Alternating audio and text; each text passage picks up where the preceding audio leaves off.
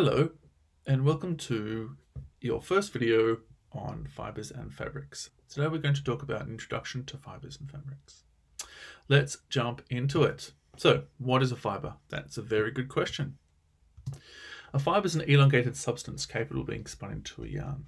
Now we're starting really basic here because fibers and fabrics play a very, very, very important part in the production of clothing, not only in their um, properties to create specific types of designs, but also in their narratives and their stories and their histories and where they come from physically.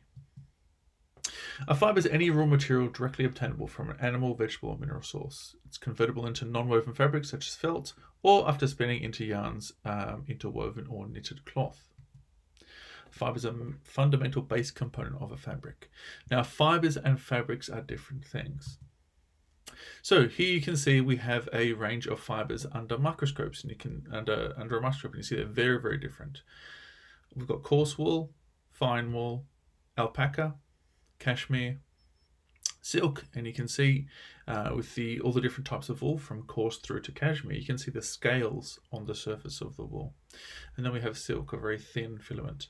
Uh, linen, cotton, both uh, rough in texture on the surface, and then polyester here on the end, very, very smooth. Now you can see with everything except polyester, the surface of the fiber is not consistent. Now that is because they're from uh, natural origins, whereas polyester uh, is a consistent fiber because it is produced using synthetic materials. But we'll get into more and more of that later on. So there are three main uh, fiber classifications, natural, synthetic, and semi-synthetic. But fiber technology goes beyond the fashion industry. It gives us as designers an opportunity to explore a wide range of applications and material science in our designs. Have you ever thought of things like spun glass, for example, many metallic fibers, carbon fiber, conductive thread? These things allow us uh, to push how we might consider fiber usages within our industry. If we look at this uh, diagram showing the market share of fibres in 2016, we can see that the vast majority of fibres are synthetic and uh, a high proportion of those are polyester. Now, this definitely has significant environmental impact.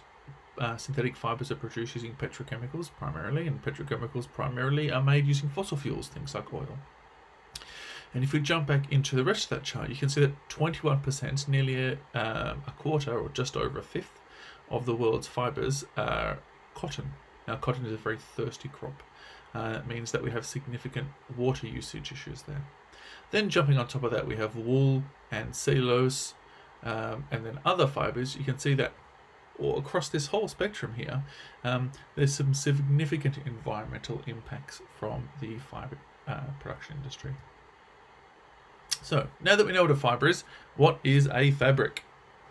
Let's jump into it. Fabrics are flexible material consisting of a network of natural or artificial fibers. So you can see that um, all fabrics are made of fiber, but not all fibers are fabrics. If that makes sense. It's a material made using um, weaving, knitting, spreading, felting, stitching, crocheting, or bonding. There's many different ways to create a fabric. Um, we're going to go into a few in a second. But it's the end result of a fiber being constructed into a textile. So when as a student you think, what fabric I'm going to use, am I going to use, and you tell your lecturer, I'm going to use cotton, you're not actually talking about a fabric there, you're talking about a fibre. So you can see that fabrics are produced using a loom, for example, and here's a very, very simple loom. Uh, using, uh, uh, or fabrics are knitted, so here's a, an industrial knitting machine, quite a small one or they're felted um, or bonded. And uh, this is an industrial process to, uh, in the purple, felt, and in the beige, bond. So, what types of fabrics are there? Fabric uh, can be broken down to three main construction types. Now, we often talk about fabric in terms of construction. So, what is the what is the construction of that fabric? Now, that really means how is the fabric made? So, the three main types are woven, knit, and what we call non-woven. Here we are with our woven. You can see very clearly that it looks like it's been woven.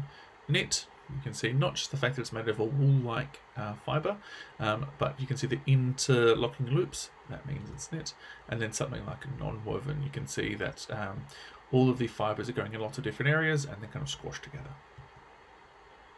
But why is this important for us as fashion designers? Well, let's look into it. Fabric choice has a significant impact on your design aesthetic. So a fabric with more drape will be softer than a fabric with less drape, for example. Wearability. A fabric made out of a polyester fiber will be hotter than a fabric made out of a cotton fiber. Price point. Polyester is very, very cheap to produce. Um, silk is very expensive to produce. Garment construction. So how you sew the garment. Uh, a plain weave cotton, for example, is significantly easier to use than um, uh, a sateen woven uh, silk. And usability. So something like merino wool, for example, um, is difficult to launder. So maybe difficult depending on the design. Your fibre and your fabric are very, very important. And it's very important that you educate yourself and that you upskill yourself um, and make an informed choice. Thank you very much for watching. Um, and uh, please like and subscribe, as all the cool cats say, or you can follow us on Instagram, um, or you can do none of those things and just enjoy these videos.